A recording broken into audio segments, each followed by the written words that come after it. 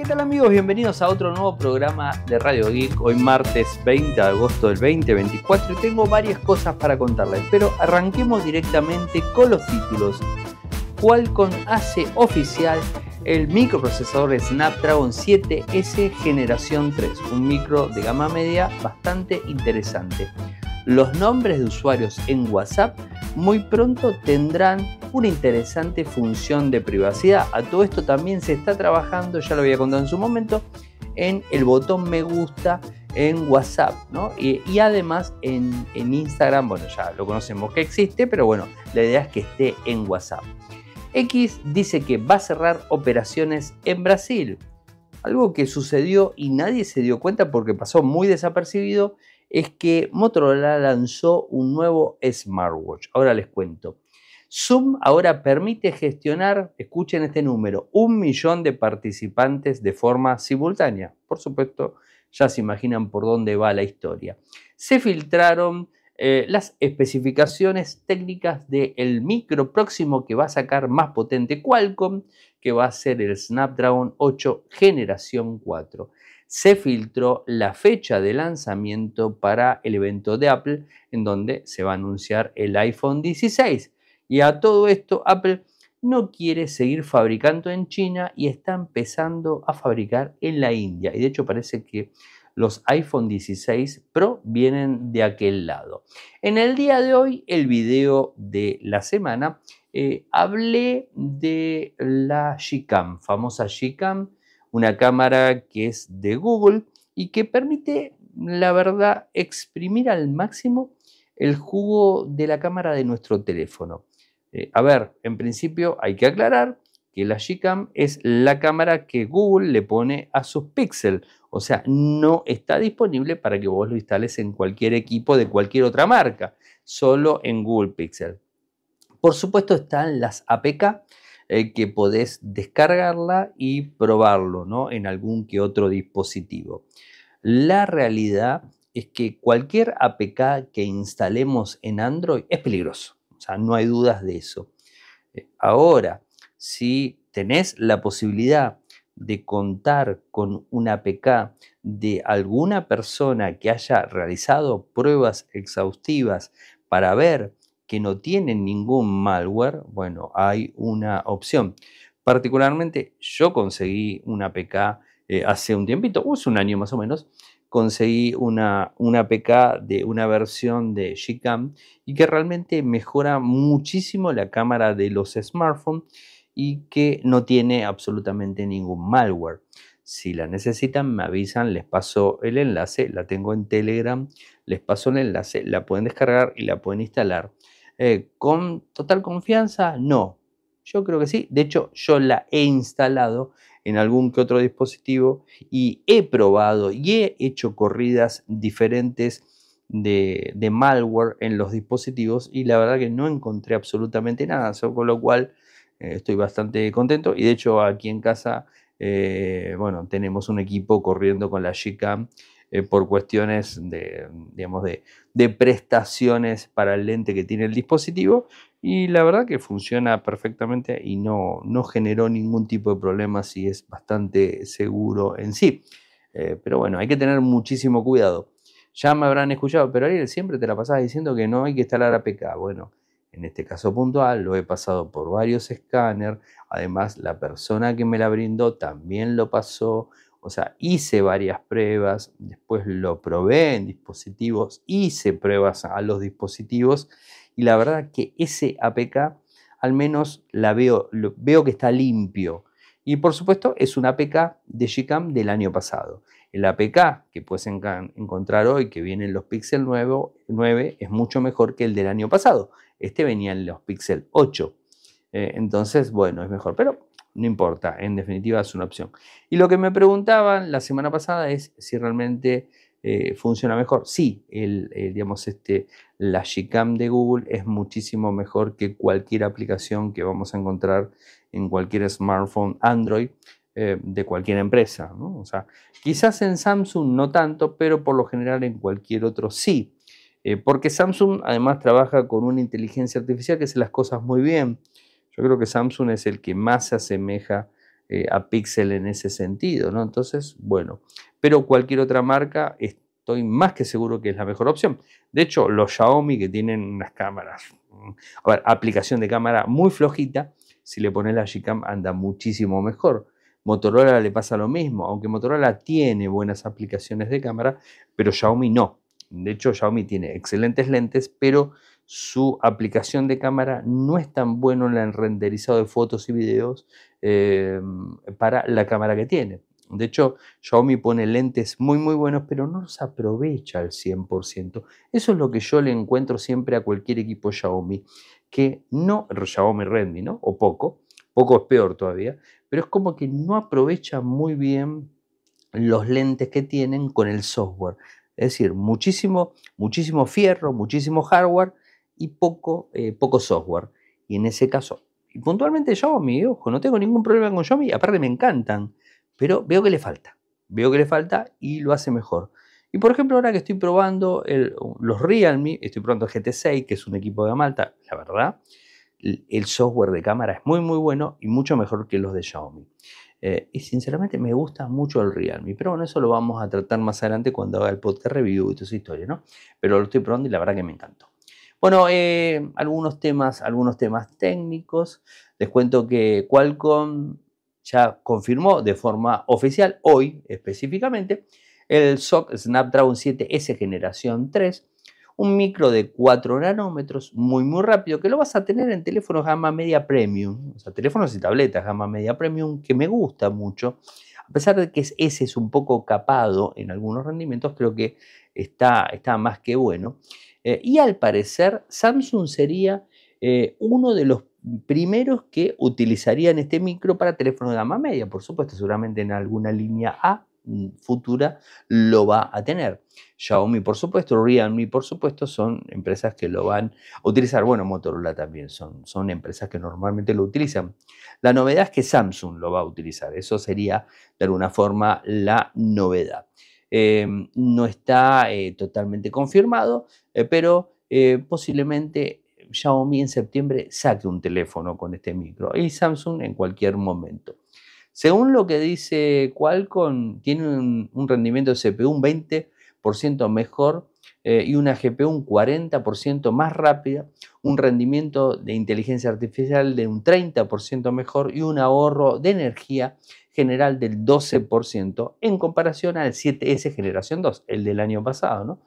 Em, el ahorro de energía solo en el lado CPU es de un 45%. A ver, estas cosas son importantes porque realmente te brindan eh, más autonomía a los equipos, no hay duda de todo esto. Tiene la CPU Cairo eh, con un núcleo Prime de una velocidad de reloj de 2.5, tres núcleos de rendimiento con una velocidad de reloj de hasta 2.4 y cuatro núcleos eh, de eficiencia con una velocidad de reloj de 1.8. Eh, admite 16 GB de RAM, o sea, viene avanzando mucho en la tecnología que va a soportar. Almacenamiento UFS 3.1, excelente. Tiene NPU dedicada, o sea, el engine lo tiene ahí metido, la, este, toda la máquina detrás lo tiene para que funcione.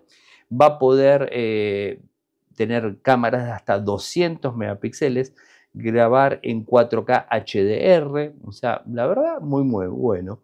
Y pantalla Full HD Plus de 144 Hz. Eh, así que eh, un micro que la verdad muy, muy, muy buena pinta. Me voy a la filtración del Snapdragon 8 generación 4, que seguramente en noviembre vamos a tener eh, más novedades y que seguro va a ser el que va a, estar, en enero del año próximo en el Samsung Galaxy S25 Ultra, porque de hecho el S24 Ultra lo trajo el anterior, el Snapdragon 8 generación 3. Este sería el Snapdragon 8 eh, generación 4 que estaría montado. Que de cualquier forma, eh, esperen porque el Xiaomi 15 para mí lo trae, porque de hecho el Xiaomi 14 fue el Ultra fue el primero que lo trajo, así que no saquemos dudas porque seguramente Xiaomi es el primero. Eh, a todo esto, este, este digamos, microprocesor es muy, muy potente, según lo que se ha visto, es de 3 nanómetros, cada vez más chico. Em, tiene un núcleo de alto rendimiento de 4 GB, 6 núcleos de bajo consumo que funcionan a 2.8. Los informes así filtrados dirían que tiene un 35% más rápido en pruebas en un solo núcleo y 30% más rápido en pruebas de multinúcleos. O sea que es interesante. Traería el GPU Adreno 830, una GPU mucho más rápida, ¿no? O sea, por supuesto, eh, va a tener también la parte del NPU, lo va a tener incorporado, o sea, esto va a estar más que bien, va a poder grabar en 8K, creo que va a tener el tope absolutamente de todas las opciones que a ustedes se les ocurra. 16 GB de RAM, 1 TB de almacenamiento, pantallas de 144 o quizás más también. Eh, así que bueno, creo que va a ser el micro más potente en sí. Me voy con dos de WhatsApp. La primera de ellas eh, tiene que ver con que eh, los nombres de usuario en WhatsApp tendrían una interesante función de privacidad, ¿no? Eh, esto en principio tengan en cuenta que está disponible supuestamente en la versión beta, ¿no? o sea, no al público en general, eh, y se puede establecer un PIN de nombre de usuario para las, que, las personas con las que no hemos interactuado antes no puedan enviarte mensajes si solo conocen el nombre de usuario. En principio yo esperaría que pongan el nombre de usuario. Esto lo publica la gente de WebEta Info. Primero que nos pongan el nombre de usuario porque es muy importante, ah, para no andar dándole el número a cualquier persona. Eh, y cuando lo ponen, bueno, poneme el pin, el pin para que le pase un pin, no sé, un 2, 3, 4 y, la persona al otro lado se pueda conectar conmigo. Bueno, eso está, está interesante. Pero hasta tanto me parece hablar medio en un futuro que tampoco se sabe cuándo esto va a estar disponible. Esperemos que esté pronto, pero hasta el momento tampoco hay mucha información eh, al respecto. Eh, y ahora también sabemos, eh, por la gente de WBeta Info, que la última versión beta de WhatsApp para Android ofrece un botón de me gusta en la pantalla de visualización de estados. Eh, y bueno, esto es algo más para tratar de asemejarse y interactuar como si fuera una red social. ¿no? Creo que eso es más que óptimo. ¿no? O sea, quería contárselos porque esto también se va a venir, no hay fechas ni nada que se le parezca. Con respecto a X, eh, bueno, anunció que cerrará operaciones en Brasil. Eh, lo anunció, eh, obviamente, desde la red social, ¿no? Y, en una publicación de la cuenta de asuntos gubernamentales globales de X, dijo, la compañía dijo que Moraes ha amenazado a nuestro representante legal en Brasil con arrestarlo si no cumplimos con sus órdenes de censura. Esto se da en el anuncio, se produjo, se produjo en medio de una batalla legal con el juez de la Corte Suprema de Brasil, Alexandre Don Moraes, quien buscó bloquear ciertas cuentas en X como parte de una investigación sobre desinformación electoral y milicias digitales. Eh, ¿Qué sé yo? No sé qué decir. La empresa continúa diciendo, o sea, X, ¿no? Como resultado, para proteger la seguridad de nuestro personal, hemos tomado la decisión de cerrar nuestras operaciones en Brasil con efecto inmediato. El servicio X continúa disponible para la población de Brasil. ¿no? Em, qué sé yo.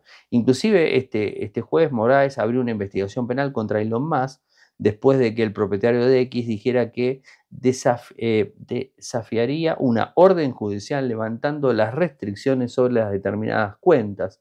Luego la empresa cambió el rumbo y dijo que después todo bloquearía las cuentas. Así que, eh, qué sé yo. Los partidarios del expresidente, mm, digamos, Jair Bolsonaro, han criticado a Moraes y han pedido su destitución. ¿no? Eh, son todos temas eh, políticos que se vienen dando y que la tecnología impacta 100%. Esto no, no, hay ningún tipo de dudas.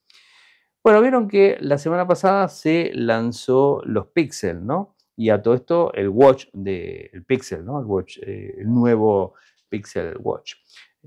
A todo esto, Motorola lanzó un reloj que pasó bastante desapercibido, es el Moto Watch 120 que tiene funciones bastante básicas, ¿no? Y en principio contarles que está alrededor de 130 dólares, es económico. Tiene una pantalla AMOLED de 1.43, no me cabe duda que sea una excelente pantalla, un cuerpo de metal con clasificación IP68, en rosa, en plata y en negro, esos tres colores. Tiene una esfera circular, Eh, digamos, este, la verdad está bueno. Dice Motorola que cuenta con una autonomía de hasta 10 días con una sola carga, con su batería tan chiquita de 300 mAh, o sea, superando eh, a todos los equipos del mercado.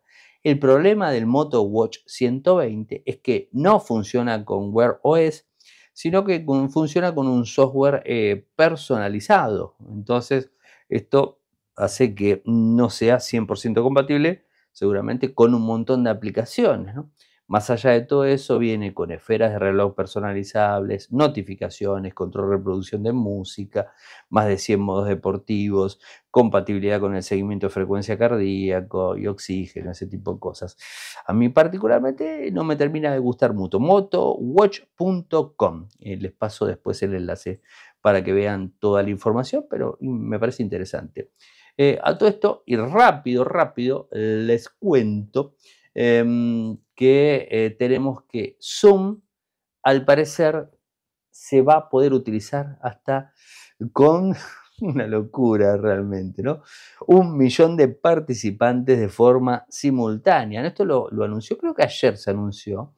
Em, obviamente esto está relacionado a conferencias muy, muy grandes y al parecer este, también es una eh, tiene algo que ver que Kamala Harris, ¿no? O sea, eh, por la, la vicepresidente de Estados Unidos, ¿no? Y seguramente va a tener algo que ver con, con ella para la recaudación y todo lo que tiene que ver con la campaña electoral de Estados Unidos en noviembre, todo ese tipo de cosas, ¿no? Eh, obviamente la empresa ofrece otros niveles de llamadas, seminarios web, capacidad de 10.000 conexiones, 500.000, eh, y bueno, y ahora se suma un millón. Eh, quizás esto empiece a funcionar, a mí se me ocurre, eh, para, para, algo más, este, más concreto y videoconferencias de empresas, ¿no? Y que no terminen solamente utilizando YouTube. Ah, no sé, se me ocurre. Veremos qué termina pasando.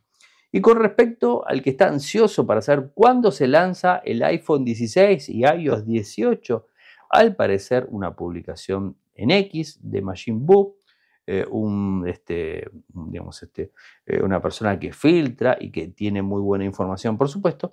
Al parecer, de forma oficial, será el 10 de septiembre. La eh, publicación está acompañada de una imagen que muestra el logo de Apple en acabado marrón bronce con el eslogan Ready, Set, Capture. esto es lo que supuestamente sabemos, ¿no?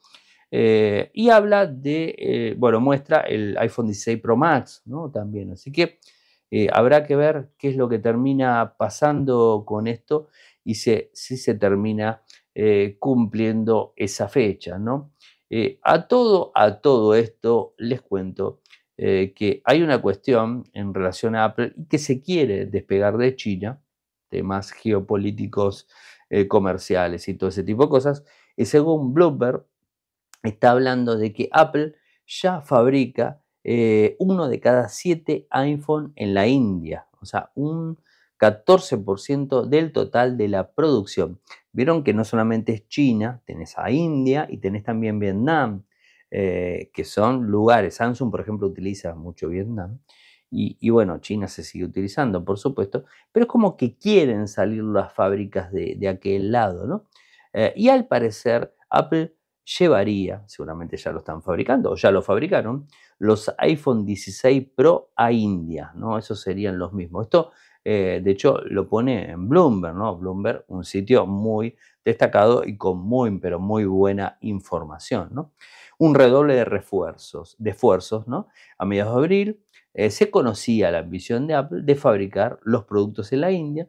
Bueno, ahora la compañía duplicó la producción en ese país eh, y es una estrategia clave para reducir dependencia con China.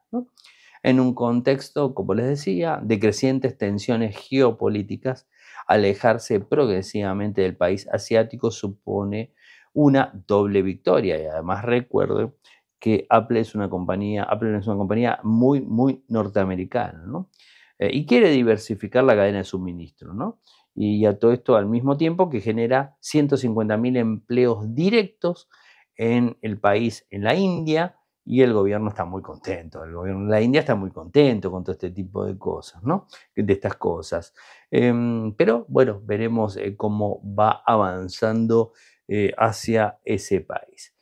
Bueno, gente, llegamos al final del programa del día de hoy, pero antes que nada los quería invitar, a los que me escuchan hace mucho tiempo y a los que no, eh, a sumarse a mi Patreon. Eh, saben que mi Patreon es la única manera que tengo de recaudar dinero para tratar de seguir manteniendo y haciendo el trabajo que vengo haciendo durante tanto tiempo, 14 años este año eh, en Radio Geek y 20 años en Infocertec.